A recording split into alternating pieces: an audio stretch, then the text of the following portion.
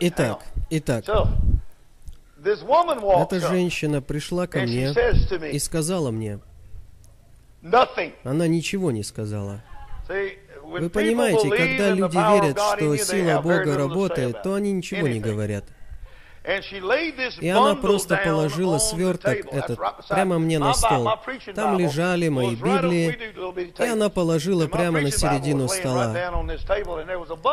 И там было что-то завернутое в полотенце или э, в одеяло. И я посмотрел на это одеяло. Я посмотрел на мать, и я не знал ее. Конечно, она была одна из наших сестер, но я не знал ее. Но все знали меня. И когда что-то приходит ко мне, я, конечно же, участвую. Если у тебя есть вера, то она есть и у меня. Ты хочешь видеть дождь, я знаю, как принести его. Это называется душ. Святого Духа.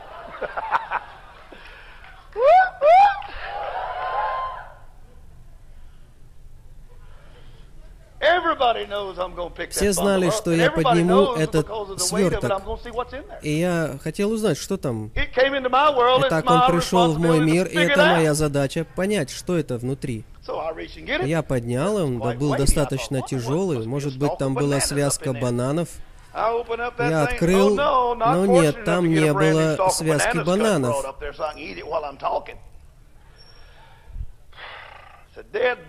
Там был мертвый ребенок.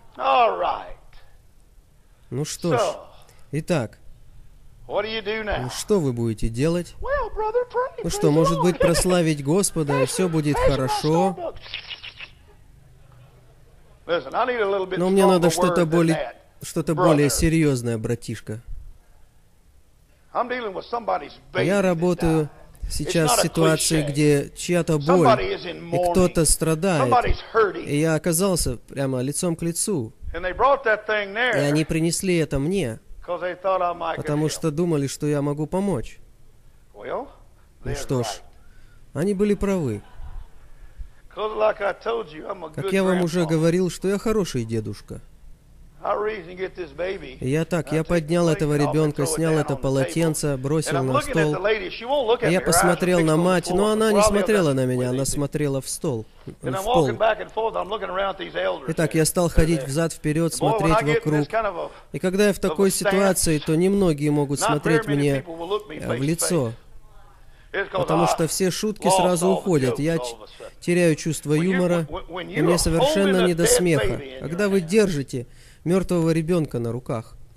И сейчас была моя ответственность поменять ситуацию, поменять обстоятельства. И вы понимаете, что кто-то попросил меня. Вы понимаете, что это невозможно по ничьим стандартам.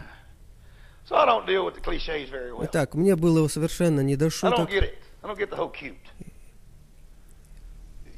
Обычно я все время шучу, но не в этот момент, не в тот момент.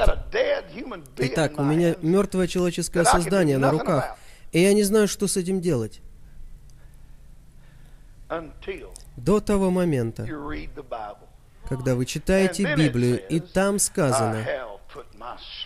«Я положил мой дух на него, я наполнил его мудростью, я дал ему способность, я дал ему разум, я дал ему знание, и он обладает моим руководством». Моя Библия говорит, что. Господь сотворил мир. Итак, если Бог может сделать это, и если? Бог во мне, что это значит? Что это значит?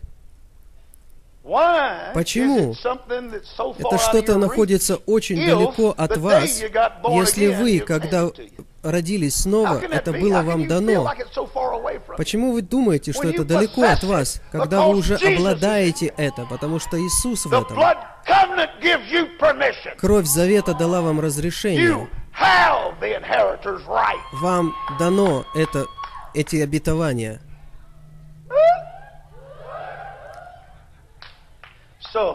Итак, я держал этого ребенка, и я сказал, слушайте, Я приказываю тебе подчиниться. Он был мертвый семь часов. Вот так. И я сказал матери. «Итак, возьми-. Я сказал его матери, возьми его, он живой. Но для меня, мне он казался еще мертвым.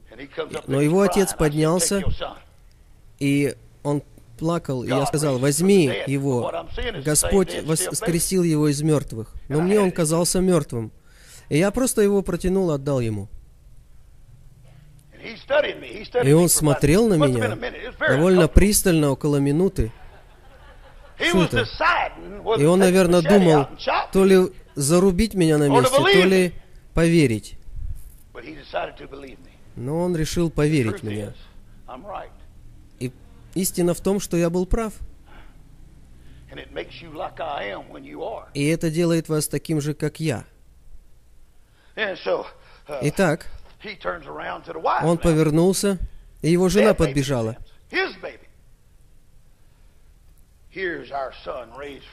И он ей протягивает и говорит, здесь ваш сын, мой, твой сын, мертв, воскресший из мертвых. А теперь она стала смотреть на меня. Но вы знаете, когда мать. Э, В такой ситуации, ну, если там бабушка или мать, если они отчаянны, то вам нужно бояться, потому что Господь защищает своих детей.